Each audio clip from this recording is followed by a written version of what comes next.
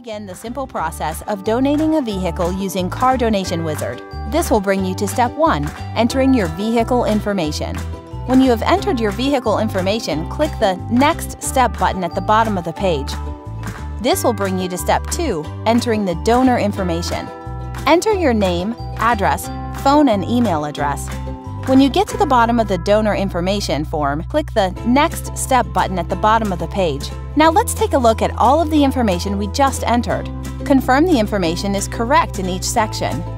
If there's any information that you would like to edit, just click the Previous Step button located on the bottom left of each page. When you have confirmed all of the information is correct, click the Submit Your Car Donation button. You will be redirected to a confirmation page that contains important information about your donation such as your confirmation number, which is located at the top right of the page, instructions on how to prepare your title, how the pickup of the vehicle will be scheduled, how to get your vehicle ready for pickup, important information regarding your tax deduction.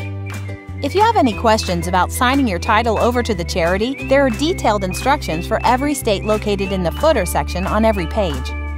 Car Donation Wizard would like to thank you for watching, and more importantly, we thank you for your donation. If you have any questions for Car Donation Wizard or would like to donate by phone, please call 877 957 2277.